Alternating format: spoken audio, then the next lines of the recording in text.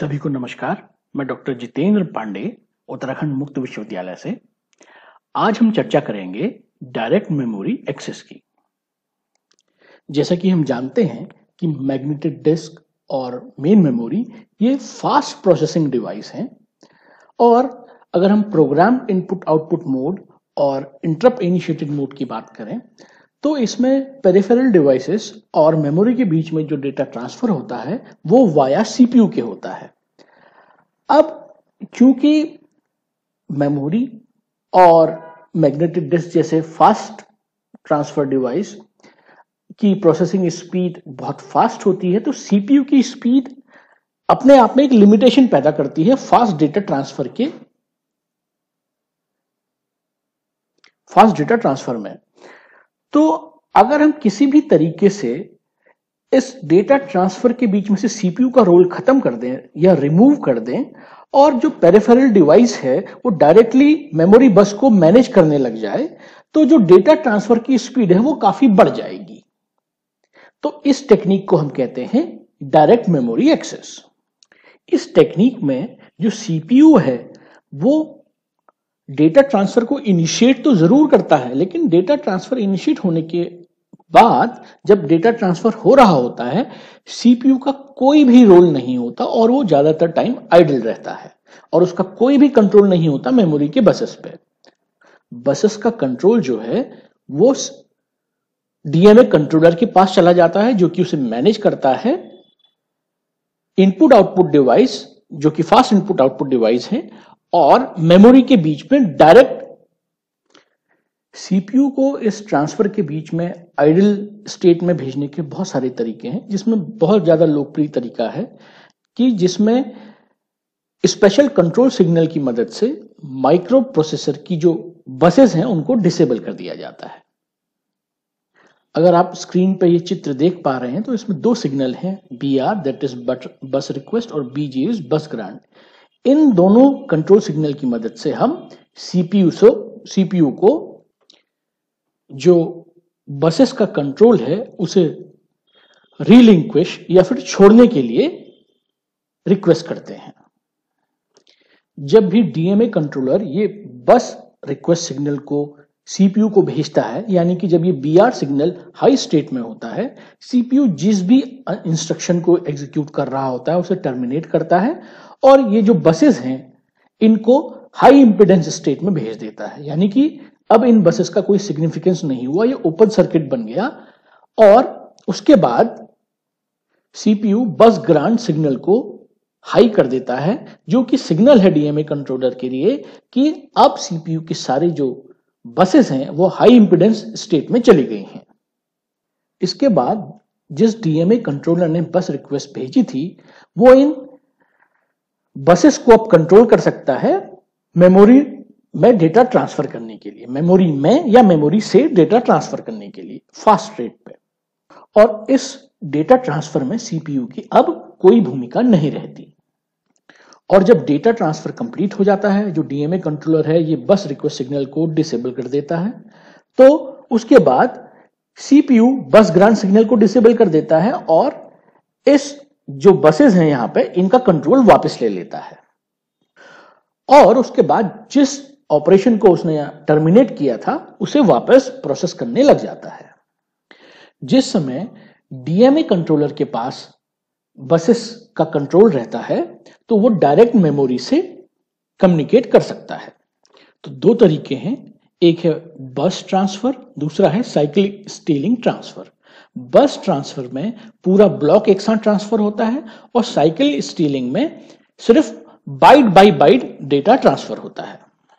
जब हम बस ट्रांसफ़र मेथड यूज़ करते हैं तो जो पूरा डेटा है, वो पूरे ब्लॉक बाय ब्लॉक ट्रांसफ़र होता है और एक बार जब कंट्रोल, डीएमए कंट्रोलर के पास आ जाता है बसेस का तो जितना डेटा है, पूरा ब्लॉक में ट्रांसफ़र हो जाता है और उसके बाद दोबारा सीपीयू को कंट्रोल दे दिया जाता है वापस बसेस का। दूसरा मेथड है साइकिल स्टीलिंग ट्रांसफ़र, जिसमें जो डेटा है वो बाइट बाई बाइट ट्रांसफ़र होता है। इसमें जब भी डीएमए कंट्रोलर रिक्वेस्ट भेजता है सीपीयू के पास बसेस का कंट्रोल लेने के लिए तो सीपीयू अपने जो ऑपरेशन है उसको कुछ समय के लिए डिले कर देता है और जो बसेस का कंट्रोल है वो वापस वो डीएमए कंट्रोलर को दे देता है। फिर डीएमए कंट्रोलर उन बसेस का कंट्रोल लेके मेमोरी में एक बाइट डेटा ट्रांसफ़र करता है और वापस फिर कंट्रोल सीपीयू को दे देता है। इस तरीके से सीपीयू अपना जो ऑपरेशन उसे टर्मिनेट नहीं करता, कुछ क्षण के लिए डिले कर देता है और उस क्षणों में जो डीएमए कंट्रोलर है, वो एक बाइट डेटा ट्रांसफ़र कर देता है और उसके बाद दोबारा कंट्रोल दे देता है सीपीयू को ताकि वो जो अपना काम कर था, दोबारा करे। और फिर कुछ देर बाद दोबारा सीपीयू को डीएमए कंट्रोलर रिक्वेस्ट भेजता है। दोबारा से उसको बस रिक्वेस्ट ग्रांट होती है और जो बस इसका कंट्रोल मिल जाता है। फिर वो एक साइकिल को स्टील करके उसमें एक बाइट ऑफ़ डेटा ट्रांसमिट करता है और वापस कंट्रोल सीपीयू को दे देता है। अगर हम डीएमए कंट्रोलर की बात करें तो एक तरह से ये इंटरफेस ही है। लेकिन इसमें इंटरफेस के अलावा कुछ एक्स्ट्रा रजिस्टर्स प्रेजेंट होते हैं। डीएमए कंट्रोलर भी एक तरह से इंटरफेस का काम करता है सीपीयू और इनपुट आउटपुट के बीच में। इसमें इंटरफेस के अलावा नॉर्मल इंटरफेस सर्किट के अलावा एक एड्रेस रजिस्टर होता है, एक वर्ड काउंट रजिस्टर होता है और एक कंट्रोल रजिस्टर होता है। और इसके अलावा कुछ सेट ऑफ़ एड्रेस लाइंस भी होती हैं।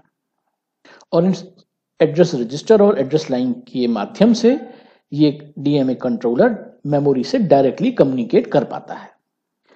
वर्ड काउंट रजिस्टर का काम है कि कितने वर्ड ट्रांसफ़र होने हैं, उसका हिसाब ये रखता है। और डीएमए कंट्रोलर के निर्देशन में इनपुट आउटपुट डिवाइस और मेमोरी के बीच में डायरेक्ट डेटा का आदान प्रदान हो सकता है। स्क्रीन में ये डीएमए कंट्रोलर का ब्लॉक डायग्राम दिखाया गया है। ये यूनिट सीपीयू से डेटा बस और कंट्रोल लाइन के माध्यम से डायरेक्ट कम्युनिकेट कर सकती है। इनमें से किसी भी रजिस्टर को सीपीयू इस डीएमए सेलेक्ट और रजिस्टर सेलेक्ट लाइन के माध्यम से सेलेक्ट कर सकता है। ये दो सिग्नल्स हैं डीएमए सेलेक्ट और रजिस्टर सेलेक्ट दो बिट्स हैं। दो बिट के कॉम्बिनेशन से आप चार रजिस्टर्स को यूनिकली आइडेंटिफाई कर सकते हो। तो इन बिट के कॉम्बिनेशन के हिसाब से, इन बिट को यूज़ करके डीएमए सेलेक्ट और रजिस्टर सेलेक्ट को यूज़ करते हुए सीपीयू इन किसी भी एड्रेस को, जो यहाँ दर्शाए गए हैं डीएमए कंट्रोलर में, इनको एक्सेस कर सकता है। इसके अलावा यहाँ पे आपको रीड और राइट लाइंस भी दिख रही हैं। जब ये बस ग्रांड सिग्नल ज़ीरो होता है तो सीपीयू डेटा बस के थ्रू इन रजिस्टर को रीड या राइट कर सकता है इनमें। जब ये बस ग्रांड सिग्नल लो होता है, यानी ज़ीरो होता है तो सीपीयू इस डेटा बस की मदद से इन रजिस्टर्स में रीड या राइट कर सकता है। और जब ये बस ग्रांड सिग्नल वन होता है, तब सीपीयू जो इन बसेस का जो अपना कंट्रोल होता है, वो रिलिंक्विश कर लेता है, यानी छोड़ देता है, और डीएमए कंट्रोलर जो है, वो मेमोरी से डायरेक्टली इंटरेक्ट कर सकता है using this address bus buffer और एड्रेस लाइन के थ्रू तो उसको एड्रेस रजिस्टर में मेमोरी की जिस लोकेशन में उसे रीड या राइट करना है, उसका उसका एड्रेस यहाँ स्पेसिफाई करना है, और एड्रेस बस के थ्रू मेमोरी से डायरेक्ट कम्युनिकेट कर सकता है, और रीड और राइट सिग्नल को का इस्तेमाल करता है रीड ऑपरेशन या राइट ऑपरेशन के लिए। यहाँ पे इस डीएमए कंट्रोलर में तीन रजिस्टर दिखाए गए हैं। Address register, word count register और कंट्रोल रजिस्टर। मेमोरी से के जिस एड्रेस को एक्सेस करना है, वो एड्रेस एड्रेस रजिस्टर के थ्रू, एड्रेस रजिस्टर में वो एड्रेस स्टोर कर दिया जाता है और मेमोरी की उस लोकेशन को एक्सेस कर लिया जाता है और वो एड्रेस बिट ये एड्रेस बस बफर के थ्रू एड्रेस बस में चली जाती हैं। जो वर्ड काउंट रजिस्टर है तो जितने वर्ड्स आपको ट्रांसफ़र करने हैं, वो वर्ड वो वैल्यू यहाँ लिख दी जाती है। मान लीजिए आपको 20 वर्ड्स ट्रांसफ़र करने हैं तो यहाँ 20 लिख दिया जाएगा। और हर एक इंस्ट्रक्शन को डेटा को ट्रांसफ़र करने के बाद ये वैल्यू डिक्रीमेंट होती रहेगी। और इसको इंटरनली इसको चेक करते करते रहता है सीपीयू कि इसकी वैल्यू कब ज़ीरो हो गई है। तो जब इसकी वैल्यू ज़ीरो हो जाएगी, इसका मतलब जितने भी वर्ड्स ट्रांसफ़र करने थे, वो मेमोरी में ट्रांसफ़र हो चुके हैं, या फिर मेमोरी से वो वर्ड्स इनपुट आउटपुट डिवाइस में डिस्प्ले करने थे ट्रांसफ़र करने थे तो वो वर्ड्स ट्रांसफ़र हो चुके हैं। और जो ये कंट्रोल रजिस्टर है, ये मोड ऑफ़ ट्रांसफ़र स्पेसिफाई करता है। कि रीड ऑपरेशन होना है कि राइट ऑपरेशन होना है। तो जितने भी ये रजिस्टर्स हैं ये तीनों डीएमए कंट्रोलर के, इनको सीपीयू इंटरफेस रजिस्टर की तरह ही एक्सेस कर सकता है। तो ये डीएमए ट्रांसफ़र होता कैसे है? सबसे पहले जो सीपीयू है वो डीएमए को इनिशियलाइज करता है। उसके बाद जो डीएमए है वो इनपुट आउटपुट डिवाइस से मेमोरी में डेटा ट्रांसफ़र करता है। और तब तक करता रहता है जब तक पूरा ब्लॉक ट्रांसफ़र ना हो जाए। तो आइए अब देखते हैं कि ये सीपीयू डीएमए को किस तरह से इनिशियलाइज करता है। तो सबसे पहले सीपीयू डेटा बस का इस्तेमाल करते हुए डीएमए को जो मेमोरी ब्लॉक का स्टार्टिंग एड्रेस है, उसका एड्रेस स्पेसिफाई करता है, जहाँ से डेटा या तो रीड करना है या फिर राइट करना है। उसके बाद वर्ड काउंट रजिस्टर को सेट करता है जिसमें कि वो बताता है कि कितने वर्ड्स ट्रांसफ़र करने हैं। फिर ट्रांसफ़र मोड को सेट करता है, यानी कि वो बताता है कि जो मेमोरी में रीड करना है कि मेमोरी में राइट करना है। और उसके पश्चात जो डीएमए जो डेटा है, उसे ट्रांसफ़र करना स्टार्ट कर देता है without the intervention of CPU तो जब पूरा ब्लॉक ट्रांसफ़र हो जाएगा तो वर्ड काउंट रजिस्टर ज़ीरो हो जाएगा। तो सीपीयू इस रजिस्टर को एक्सेस करके इसकी वैल्यू चेक करता रहता है। जब ये ज़ीरो हो गया तो वो स्टॉप कर देता है। और जैसे ही ये इसके अलावा जो डीएमए कंट्रोलर है, वो एक इंटरप्ट के माध्यम से एंड ऑफ़ ट्रांसफ़र का सिग्नल देता है सीपीयू क्यों जैसे कि आप यहाँ इस ब्लॉक डायग्राम में देख रहे हैं, यहाँ पे एक इंटरप्ट सिग्नल भी है। ये इंटरप्ट सिग्नल जब ये वर्ड काउंट रजिस्टर ज़ीरो हो जाता है, यानी कि पूरा ब्लॉक ऑफ़ डेटा ट्रांसमिट हो जाता है तो इंटरप्ट सिग्नल के माध्यम से सीपीयू को इंटरप्ट करता है। और जैसे ही सीपीयू को इंटरप्ट करता है तो जो बस ग्रांट सिग्नल है, वो लो हो जाता है। और सीपीयू बस ग्रांट सिग्नल को लो कर देता है, और जो बसेस हैं, उनका जो कंट्रोल है, अपने हाथों में ले लेता है। स्क्रीन में जो चित्र दिखाया गया है, इसमें दर्शाया गया है कि डीएमएन कंट्रोलर की पोजीशन सीपीयू और जो मेन मेमोरी है, उसके बीच में कहाँ पर होती है। सीपीयू जिस तरीके से इंटरफेस को एड्रेस बस और डेटा बस के माध्यम से एक्सेस करता है, वैसे ही डीएमए कंट्रोलर को भी एक्सेस कर सकता है इस एड्रेस और डेटा बस की मदद से। तो जब भी इस डीएमए कंट्रोलर से सीपीयू को कम्युनिकेट करना है तो उसका एड्रेस यहाँ पे इस एड्रेस बस में डालेगा। जब भी डीएमए कंट्रोलर कंटिन्यूसली इस एड्रेस लाइन को मॉनिटर करता है, और जब भी ये देखता है कि इस एड्रेस बस में उसका एड्रेस है, वो ये डीएस और आरएस सिग्नल को इनेबल कर देता है। जब इनेबल करेगा तो ये जो डीएमए यूनिट है डीएमए कंट्रोलर है, ये एक्सेस किया जा सकता है। ये इनेबल हो गया। तो ये मेथड सेम है जैसे कि सीपीयू इंटरफेस को एक्सेस करता है। डेटा बस के थ्रू सीपीयू डीएमए को इनिशियलाइज कर सकता है। और जैसे ही डीएमए को स्टार्ट कंट्रोल कमांड मिलता है, वो इनपुट आउटपुट पेरिफेरल और मेमोरी के बीच में डेटा ट्रांसफ़र को इनिशिएट कर देता है। जब भी input output device DMA request भेजता है डीएमए कंट्रोलर को DMA controller bus request signal भेजता है सीपीयू को, जो कि सीपीयू के लिए सिग्नल है कि अब उसे इस बसेस का कंट्रोल चाहिए।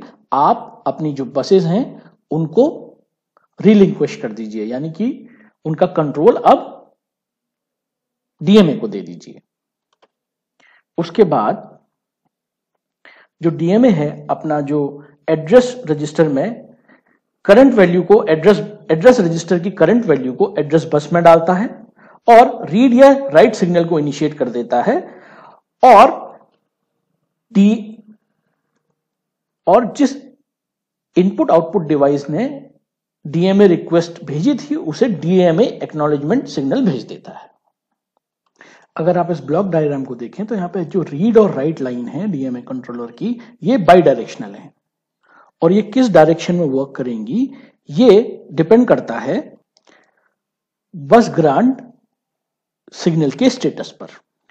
जब ये बस ग्रांड सिग्नल ज़ीरो होता है तो ये इनपुट लाइन की तरह रीड और राइट लाइन इनपुट लाइन की तरह यूज़ होती हैं और इनको यूज़ करता है सीपीयू डीएमए कंट्रोलर में जो रजिस्टर्स हैं, उनको एक्सेस करने के लिए। और जब ये बस ग्रांड सिग्नल वन होता है तो ये read write signal output line की तरह यूज़ होती हैं, जिन्हें डीएमए कंट्रोलर यूज़ करता है डायरेक्ट मेमोरी एक्सेस को एक्सेस करने के लिए या उससे कम्युनिकेट करने के लिए। जब इनपुट आउटपुट पेरिफेरल डिवाइस को डीएमए एक्नोलॉजमेंट सिग्नल मिल जाता है तो ये जो डेटा बस है, इसमें डेटा को प्लेस कर देता है, अगर वो मेमोरी में राइट ऑपरेशन करना चाहता है। और अगर वो मेमोरी रीड ऑपरेशन है तो जो यहाँ पर डेटा बस है, उसके कंटेंट को रिसीव कर लेता है। तो डीएमए कंट्रोलर रीड और राइट ऑपरेशन को कंट्रोल करता है और मेमोरी का वो एड्रेस स्पेसिफाई करता है, जहाँ पे रीड या राइट ऑपरेशन होना है। उसके बाद जो इनपुट आउटपुट पेरिफेरल डिवाइस है, वो मेमोरी से डायरेक्ट कम्युनिकेट करता है और सीपीयू का अब कोई भी रोल नहीं रहता। और सीपीयू मोमेंटरीली ट्रांसफ़र करने के बाद एड्रेस रजिस्टर इंक्रीमेंट होता है और वर्ड काउंट रजिस्टर डिक्रीमेंट होता है। और डीएमए वर्ड काउंट रजिस्टर को बार बार चेक करता रहता है। और अगर वर्ड काउंट रजिस्टर ज़ीरो नहीं होता तो वो फिर चेक करता है पेरिफेरल डिवाइस जो डीएमए रिक्वेस्ट का सिग्नल आ रहा है, उसका स्टेटस चेक करता है। और जो बहुत हाई स्पीड डिवाइसेस हैं, उसमें जैसे ही एक वर्ड ट्रांसफ़र होता है, दोबारा वो सिग्नल अपने आप हाई हो जाता है। डीएमए रिक्वेस्ट का सिग्नल और उसके बाद दूसरा वर्ड ट्रांसफ़र होता है, फिर उसके बाद एड्रेस रजिस्टर इंक्रीमेंट होता है वर्ड काउंट रजिस्टर डिक्रीमेंट होता है, और फिर उसका स्टेटस चेक किया जाता है। फिर DMA controller input output device जो है, उसका रिक्वेस्ट स्टेटस चेक करता है, वो दोबारा अगर बहुत हाई स्पीड डिवाइस है तो दोबारा वो हाई होता है और फिर से इस तरह से वर्ड बाय वर्ड पूरा ब्लॉक ट्रांसफ़र हो जाता है। तो जैसा हम पहले बात कर चुके हैं कि अगर बहुत हाई स्पीड डिवाइस है तो वहाँ पे बस ट्रांसफ़र होगा, यानी पूरा ब्लॉक ट्रांसफ़र हो जाएगा। अगर बहुत स्लो डिवाइस उसके साथ अटैच्ड है तो साइकिल स्टीलिंग होगी। तो उसमें क्या होगा? एक वर्ड ट्रांसफ़र होगा, उसके बाद दोबारा डीएमए रिक्वेस्ट की लाइन चेक करेगा वो। और जो लो स्पीड जो डिवाइस है उसमें वो बहुत जल्दी दोबारा वो सिग्नल नहीं इनिशिएट होता। तो उसमें क्या होता है? फिर डीएमए जो है इंटरप्ट के माध्यम से सीपीयू को इंटरप्ट करता है। जो बसेस का कंट्रोल है वो सीपीयू के पास वापस चला जाता है। सीपीयू दोबारा अपना आ, काम करना शुरू कर देता है। और फिर दोबारा जब इनपुट आउटपुट डिवाइस को नेक्स्ट वर्ड ट्रांसफ़र करना होता है दोबारा रिक्वेस्ट भेजता है दोबारा फिर सीपीयू को बस रिक्वेस्ट भेजी जाती है, फिर वो अपनी जो बसेस हैं उनको रिलिंक्विश करता है और बस ग्रांट करता है और फिर उसके बाद डीएमए कंट्रोलर एक्नोलेजमेंट सिग्नल भेजता है इनपुट आउटपुट डिवाइस को इनपुट आउटपुट डिवाइस फिर दोबारा दूसरा वर्ड ट्रांसफ़र करते हैं। ये है साइकिल स्टीलिंग जो स्लो डिवाइसेस में यूज़ होता है। और जैसे ही वर्ड काउंट रजिस्टर अगर ज़ीरो हो जाए, उसके बाद डीएमए कोई भी ट्रांसफ़र को स्टॉप कर देता है और जो बस रिक्वेस्ट थी उसे रिमूव कर देता है। उसी के साथ साथ इस इंटरप्ट सिग्नल के माध्यम से सीपीयू को इंटरप्ट भी कर देता है। जब सीपीयू को ये इंटरप्ट मिलता है, वो वर्ड काउंट रजिस्टर को चेक करता है और अगर वर्ड काउंट रजिस्टर की वैल्यू ज़ीरो है तो इसका मतलब सारा का सारा वर्ड जो है, वो ट्रांसफ़र हो चुका है मेमोरी में। तो हमने इस लेक्चर में देखा कि किस प्रकार एक डीएमए काम करता है। धन्यवाद।